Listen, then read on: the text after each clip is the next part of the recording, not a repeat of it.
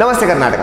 ನನ್ನ ಹೆಸರು Prashant and welcome back to the channel ಇವತ್ತಿನ ವಿಡಿಯೋಲಿ ನಾನು ಡಯಟ್ ಬಗ್ಗೆ ಹೇಳ್ತಿಲ್ಲ ಫಿಟ್ನೆಸ್ ಬಗ್ಗೆ ಹೇಳ್ತಿಲ್ಲ, ಅಥವಾ ನೀವು ಯಾವ ವರ್ಕೌಟನ್ನು ಸರಿಯಾಗಿ ಮಾಡ್ತಿದ್ದೀರೋ ಅಥವಾ ಸರಿಯಾಗಿ ಮಾಡ್ತಿಲ್ಲೋ ಅದ್ರ ಬಗ್ಗೆನೂ ಡಿಸ್ಕಸ್ ಮಾಡ್ತಿಲ್ಲ. ಬಟ್ ಇವತ್ತು ಒಂದು ತುಂಬಾ ಇಂಪಾರ್ಟೆಂಟ್ ಟಾಪಿಕ್ ಬಗ್ಗೆ ಮಾತಾಡೋಣ. ಅದೇ ಮೆನ್ಸ್ ಸ್ಕಿನ್ ಕೇರ್ ಈಗ ನಾವು ಹುಡುಗರು ತುಂಬಾ ರಗಡಾಗಿರ್ತೀವಿ. ನಮಗೆ ಸ್ಕಿನ್ ಕೇರ್ ಯಾಕೆ ಅದೆಲ್ಲ ಹುಡುಗಿಯರಿಗೆ? ಇವೆಲ್ಲ ಹೇಳೋ ಹುಡುಗರು ಕೂಡ ನನಗೆ ಗೊತ್ತು. ಬಟ್ ಸ್ಟಿಲ್ ಗೈಸ್ ನೀವು ಯಾರೇ ಇರಿ, ನೀವು ಎಷ್ಟೇ ರಗಡಾಗಿರಿ, ಎಷ್ಟೇ ಸಾಫ್ಟ್ ಆಗಿರಿ ಇಫ್ ಇನ್ ಕೇಸ್ ನೀವು ನಿಮ್ಮ ಸ್ಕಿನ್ನನ್ನು ಚೆನ್ನಾಗಿ ನೋಡ್ಕೊಳ್ಳಿಲ್ಲ ಅಂದರೆ ವಯಸ್ಸಾಗೋ ಮುಂಚೆನೇ ಮುದುಕರಂಗೆ ಕಾಣಕ್ಕೆ ಶುರು ಆಗ್ತೀರಾ ಸೊ ಪ್ಲೀಸ್ ಆ ತಪ್ಪನ ಯಾವತ್ತು ಮಾಡಬೇಡಿ. ನಾನು ಹೇಳೋ ಟಿಪ್ಸನ್ನು ಫಾಲೋ ಮಾಡಿ. ತುಂಬಾ ಬೇಸಿಕ್ ಆಗಿದೆ. ತುಂಬಾ ಪಾಕೆಟ್ ಫ್ರೆಂಡ್ಲಿ ಆಗಿದೆ. So yes let's roll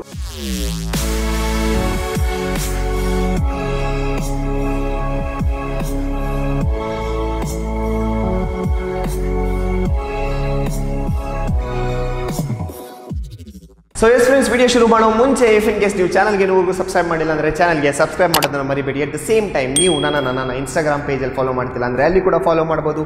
ಯಾವುದೇ ಒಂದು ಫಿಟ್ನೆಸ್ ಟಿಪ್ ಬಗ್ಗೆ ಏನೇ ಕ್ವೆರೀಸ್ ಇತ್ತಂದ್ರೂ ವಿಡಿಯೋಲಿ ನಿಮಗೆ ಏನೇ ಒಂದು ಡೌಟ್ ಇತ್ತಂದ್ರೂ ನೀವು ಕೇಳ್ಬೋದು. ಅಲ್ಲಿ ನಾನು ನಿಮಗೆ ಡೈರೆಕ್ಟಾಗಿ ಆನ್ಸರ್ ಮಾಡ್ತೇನೆ ಅಥವಾ ಒಂದು ಒಳ್ಳೆಯ ವಿಡಿಯೋ ಮಾಡಿ ಈ ಥರ ಪ್ರೆಸೆಂಟ್ ಮಾಡ್ತೀನಿ. ಸೊ ನಮ್ಮ ಇವತ್ತಿನ first step is cleansing toning moisturising ಇದನ್ನು ನಾವು ಸಿ ಟಿ ಎಂ ಅಂತ ಹೇಳುವ ಫಸ್ಟ್ ಸ್ಟೆಪ್ ನಿಮ್ಮ ಮುಖವನ್ನು ನೀವು ಯಾವುದರಲ್ಲಿ ತೊಳಿತೀರಾ ಅನ್ನೋದು, ಅದನ್ನು ನಾವು ಕ್ಲೆನ್ಸಿಂಗ್ ಅಂತ ಹೇಳ್ತೀವಿ. ಈಗ ನಾನು ಸುಮಾರು ಜನ ನನ್ನ ಫ್ರೆಂಡ್ಸ್ ಗೊತ್ತು, ಅವರೆಲ್ಲವೂ ಎಲ್ಲರೂ ಏನು ಮೈಗೆ ಉಚ್ಕೊಳ್ತಾರೋ ಅದೇ ಸೋಪನ್ನು ಹಾಕೊಂಡು ಮುಖ ಕೂಡ ಗಸಗಸಿರ್ತಾರೆ. ಈ ಮಿಸ್ಟೇಕನ್ನು ಗೈಸ್ ಪ್ಲೀಸ್ ಮಾಡಬೇಡಿ ಬಿಕಾಸ್ ನೀವು ಸೋಪನ್ನು ಮುಖಕ್ಕೆ ಯೂಸ್ ಮಾಡಿದ್ರೆ ನಿಮ್ಮ ಮುಖ ತುಂಬಾ ಜಾಸ್ತಿ ಡ್ರೈ ಆಗುತ್ತೆ, ನಿಮಗೆ ತುಂಬಾ ಜಾಸ್ತಿ ಇದು ಇರಿಟೇಷನ್ ಫೀಲ್ ಆಗೋ ಸೆನ್ಸಸ್ ಕೂಡ ಇದೆ ಬಿಕಾಸ್ ಇದು ಸಮ್ಮರ್ ಕೂಡ. ಸೊ ಈ ಥರ ಆಗೋ ಚಾನ್ಸಸ್ ತುಂಬಾ ಜಾಸ್ತಿ ಇದೆ.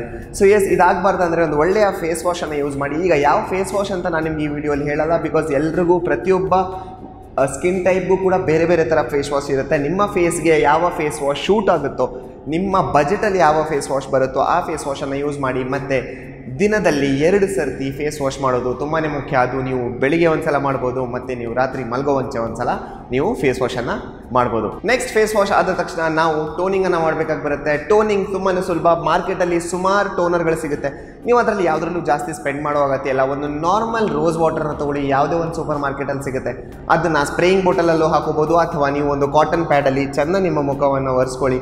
ಅದರಿಂದ ನಿಮಗೆ ತುಂಬಾ ಜಾಸ್ತಿ ಬೆನಿಫಿಟ್ ಆಗುತ್ತೆ. ಒಂದು, ನಿಮ್ಮ ಫೇಸ್ ತುಂಬಾ ಡ್ರೈ ಆಗಿರುತ್ತೆ ಅಂದರೆ ಅದು ತುಂಬಾ ಜಾಸ್ತಿ ಹೈಡ್ರೇಟೆಡ್ ಕಾಣಕ್ಕೆ ಶುರು ಆಗುತ್ತೆ ಎರಡನೇದು ನಿಮ್ಮ ಸ್ಕಿನ್ ತುಂಬಾ ಟೈಟ್ ಅನ್ಸುತ್ತೆ. ಬೇಸಿಗೆಯಲ್ಲಿ ಟೋನಿಂಗ್ ನಿಮ್ಮ ಸ್ಕಿನ್ಗೆ ತುಂಬಾ ಒಂದು ಇಂಪಾರ್ಟೆಂಟ್ ಸ್ಟೆಪ್ ನೆಕ್ಸ್ಟ್ ಬರೋದು ಮಾಯಿಶ್ಚರೈಸಿಂಗ್ ಒಂದು ಸಲ ನಿಮ್ಮ ಟೋನಿಂಗ್ ಆಯಿತು, ಒಂದು ಸಲ ನೀವು ರೋಸ್ ವಾಟರನ್ನು ಚೆನ್ನಾಗಿ ಯೂಸ್ ಮಾಡಿದ್ರಂದರೆ ಫೇಸನ್ನು ಚೆನ್ನಾಗಿ ಮಾಯಿಶ್ಚರೈಸ್ ಮಾಡೋದನ್ನು ಮರಿಬೇಡಿ. ಇದರಿಂದ ಕೂಡ ನಿಮ್ಮ ಫೇಸ್ ತುಂಬಾ ಜಾಸ್ತಿ ಹೈಡ್ರೇಟೆಡ್ ಆಗಿರುತ್ತೆ ತುಂಬಾ ಜಾಸ್ತಿ ಹೆಲ್ದಿ ಆಗಿರುತ್ತೆ. ಆ್ಯಂಡ್ ನಿಮ್ಮ ಫೇಸ್ ಡ್ರೈ ಆಗೋದು ನಿಲ್ಲುತ್ತೆ. ಮಾಯಿಶ್ಚರೈಸನ್ ಯಾವುದರಿಂದ ಮಾಡ್ಬೋದು? ತುಂಬಾ ಸುಲಭ ಗೈಸ್ ಎಲೋವೆರಾ ಜೆಲ್ ಇದೆ ತುಂಬಾ ಆಯುರ್ವೇದಿಕ ಕೂಡ ಇದೆ. ಸೊ ಇದನ್ನು ನೀವು ಯೂಸ್ ಮಾಡ್ಬೋದು. ಎಲ್ರಿಗೂ ಸೂಟ್ ಆಗುತ್ತೆ ಅಂತ ಹೇಳ್ತಿಲ್ಲ. ಬಟ್ ಯಾರಿಗೆಲ್ಲ ಸೂಟ್ ಆಗುತ್ತೆ? ಅವರು ಎಲೋವೆರಾ ಜನನ ಒಂದ್ಸಲ ಡೆಫಿನೆಟ್ಲಿ ಟ್ರೈ ಮಾಡಿ. ಆಗಲಿಲ್ಲ ಅಂದರೆ ಮಾರ್ಕೆಟಲ್ಲಿ ಇನ್ನೂ ಜಾಸ್ತಿ ಮಾಯಿಶ್ಚರೈಸರ್ ಬರುತ್ತೆ.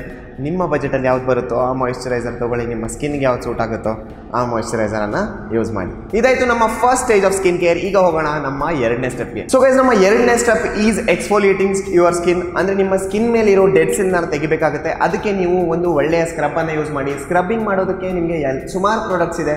ಐವತ್ತರಿಂದ ಅರವತ್ತು ರೂಪಾಯಿಗೆ ನಿಮಗೆ ಸೂಪರ್ ಮಾರ್ಕೆಟಲ್ಲಿ ಸಿಕ್ಬಿಡುತ್ತೆ ನಿಮ್ಮ ಸ್ಕಿನ್ಗೆ ಯಾವ್ದು ಸೂಟ್ ಆಗುತ್ತೋ ಅದೇ ಪ್ರಾಡಕ್ಟನ್ನು ಯೂಸ್ ಮಾಡಿ. ಸೊ ಸ್ಕ್ರಬ್ಬನ್ನು ಹೇಗೆ ಯೂಸ್ ಮಾಡ್ಬೋದು? ತುಂಬಾ ಸುಲಭ. ನಿಮ್ಮ ಕೈಯಲ್ಲಿ ಒಂದು ಸ್ಮಾಲ್ ಕ್ವಾಂಟಿಟಿಯನ್ನು ತಗೊಳ್ಳಿ. ಅದನ್ನು ಫೇಸ್ ಮೇಲೆ ಹಚ್ಕೊಂಡು ಒಂದು ಸರ್ಕ್ಯುಲರ್ ಮೋಷನಲ್ಲಿ ಮೂವ್ ಮಾಡ್ತಾ ಇರಿ.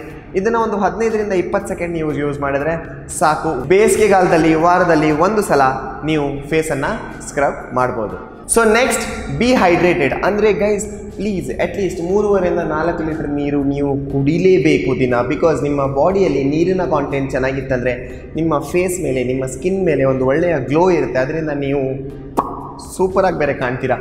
ಸೆಕೆಂಡ್ ಥಿಂಗ್ ನಿಮ್ಗೆ ಒಂದು ಹೆಲ್ ಹೆಲ್ದಿ ಸ್ಕಿನ್ ಬೇಕಿದ್ರೆ ನೀವು ಒಂದು ಒಳ್ಳೆಯ ಡಯಟನ್ನು ಫಾಲೋ ಮಾಡಲೇಬೇಕಾಗತ್ತೆ. ಅಟ್ ದ ಸೇಮ್ ಟೈಮ್ ಒಂದು ಬೇಸಿಕ್ ಫಿಟ್ನೆಸ್ ರುಟೀನನ್ನು ಫಾಲೋ ಮಾಡಿ. ನಾನು ಒಂದು ಅಡ್ವಾನ್ಸ್ ಫಿಟ್ನೆಸ್ ಮಾಡಿ ಮಸಲ್ ಬೆಳೆಸ್ಕೊಳ್ಳಿ ಬಾಡಿ ಮಾಡಿ ಅಂತ ಹೇಳ್ತಿಲ್ಲ. ಬಟ್ ಇಫ್ ಇನ್ ಕೇಸ್ ನಿಮ್ಗೆ ಒಂದು ಒಳ್ಳೆಯ ಸ್ಕಿನ್ ಬೇಕಿದ್ರೆ, ಒಂದು ಬೇಸಿಕ್ ಫಿಟ್ನೆಸ್ ರುಟೀನ್ ಒಂದು ಬೇಸಿಕ್ ಡಯಟ್ ಮತ್ತು ನೀರು, ಇದು ಯಾವುದನ್ನು ಯಾವತ್ತೇ ಮರಿಬೇಡಿ. ನಮ್ಮ next step is using a very good sunscreen ಅಂದರೆ ಗೈಸ್ ಇದು ಈ ಸ್ಟೆಪ್ಪನ್ನು ಎಲ್ಲರೂ ಇಗ್ನೋರ್ ಮಾಡ್ತಾರೆ. ಈ ಸ್ಟೆಪ್ಪನ್ನು ನಾನು ಕೂಡ ತುಂಬಾ ಜಾಸ್ತಿ ಇಗ್ನೋರ್ ಮಾಡ್ತೀನಿ. ನೀವು ಹೊರಗಡೆ ಹೋಗಬೇಕಾದ್ರೆ, ಅಥವಾ ನೀವು ಮನೆಯಲ್ಲಿದ್ದರೂ ಕೂಡ ಸ್ಪೆಷಲಿ ಇಷ್ಟೊಂದು ಜಾಸ್ತಿ ಸಮ್ಮರಲ್ಲಿ ನೀವು ಸನ್ಸ್ಕ್ರೀನ್ ಯೂಸ್ ಮಾಡಲೇಬೇಕಾಗುತ್ತೆ. ಈಗ ಯಾವ ಸನ್ಸ್ಕ್ರೀನನ್ನು ಯೂಸ್ ಮಾಡ್ಬೋದು? ಒಂದು ಎಸ್ ಪಿ ಎಫ್ ಫಿಫ್ಟಿ ಇರೋ ನಿಮ್ಮ ಸ್ಕಿನ್ಗೆ ಸೂಟ್ ಆಗಿರೋ ಸನ್ಸ್ಕ್ರೀನನ್ನು ನಾನು ಯೂಸ್ ಮಾಡಿ. ನಾನು ಮನೇಲಿ ಕೂತ್ಕೊಂಡಿದ್ದೀನಿ, ನಾನು ಹೊರಗಡೆ ಹೋಗ್ತಿಲ್ಲ, ಬಿಸಿಲಿಗೆ ಹೋಗ್ತಿಲ್ಲ, ಏನಕ್ಕೆ ಸನ್ಸ್ಕ್ರೀನ್ ಯೂಸ್ ಮಾಡಬೇಕು? ಇಲ್ಲ, ನೀವು ಮನೇಲಿದ್ದರೂ ಕೂಡ ಅಲ್ಲಿ ಕೂಡ ಯು ವಿ ರೇಸ್ ಇರುತ್ತೆ. ಸೊ ಡೆಫಿನೆಟ್ಲಿ ಒಂದು ಒಳ್ಳೆಯ ಸನ್ಸ್ಕ್ರೀನನ್ನು ಯೂಸ್ ಮಾಡಿ. ಸನ್ಸ್ಕ್ರೀನ್ ಯೂಸ್ ಮಾಡೋದ್ರಿಂದ ನಿಮ್ಮ ಫೇಸ್ ಮೇಲೆ ಮೊಡವೆಗಳು ಬರೋದು ಆಗಲಿ, ಅವುಗಳೆಲ್ಲ ಕಮ್ಮಿ ಆಗುತ್ತೆ.